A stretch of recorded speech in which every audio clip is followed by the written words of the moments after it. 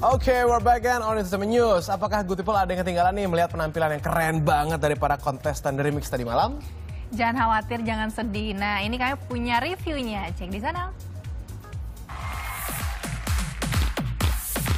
The biggest dance music competition, The Remix, telah sukses digelar. Dan kemarin, kompetisi The Remix telah memasuki minggu ketiganya.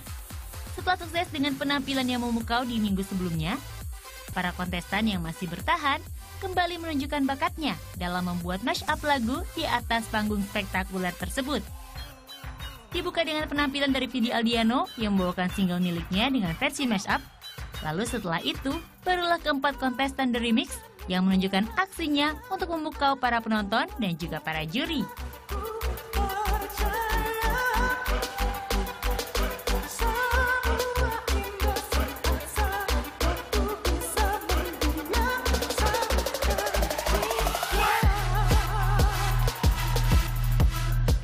Mengingat tema untuk kompetisi The Remix minggu ini adalah band Indonesia, maka dari itu, para kontestan ditantang untuk meremix lagu-lagu hits milik grup band papan atas Indonesia. Di penampilan pertama, ada kontestan dari pasangan Renada dan Jessie yang tergabung dalam Wild Ones. Mereka menjadi kontestan pertama yang memberikan penampilan dengan maksimal. Wild Ones meremix lagu milik grup band Dewa yang berjudul Separuh Nafas.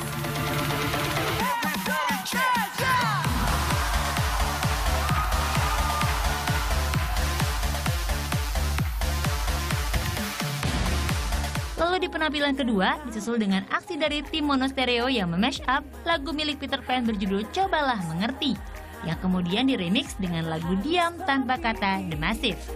Hanya perlu mengerti aku bernafas untukmu jadi tetaplah di sini dan mulai menerima. Kemudian di penampilan ketiga ada penampilan dari Save yang meremix lagu milik grup band slang yang berjudul I Miss You But I Hate You.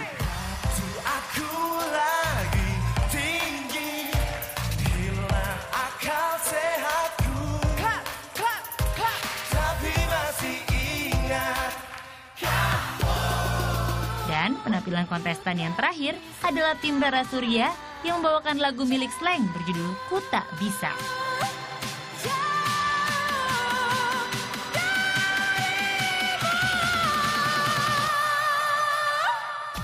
Kontestan The Remix menampilkan performanya semalam, line voting yang dibuka pada saat awal acara akhirnya ditutup.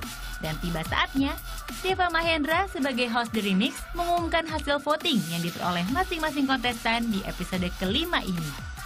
Dan penampilan maksimal yang ditunjukkan Wild Ones ternyata tidak sia-sia.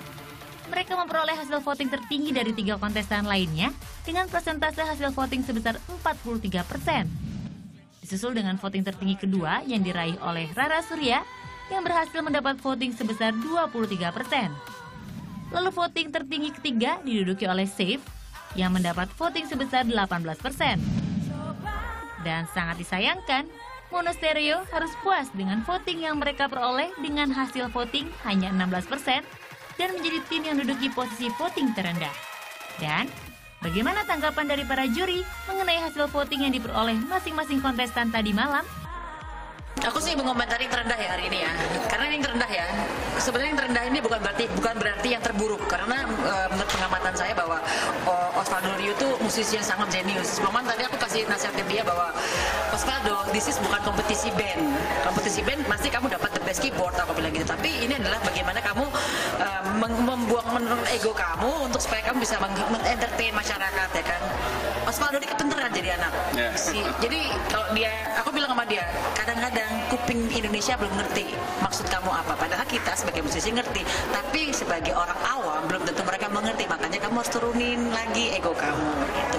Tapi kalau What Once dia dia tertinggi ya, dia tertinggi, dia tetap dengan stay dengan Melbourne bounce-nya, which is itu pumping banget memang. Nah ternyata sekarang formulasinya ketebak bahwa ternyata yang pengen suka Indonesia itu justru yang super pumping gitu. Padahal sebenarnya elektronik music itu tidak hanya sekedar yang cuman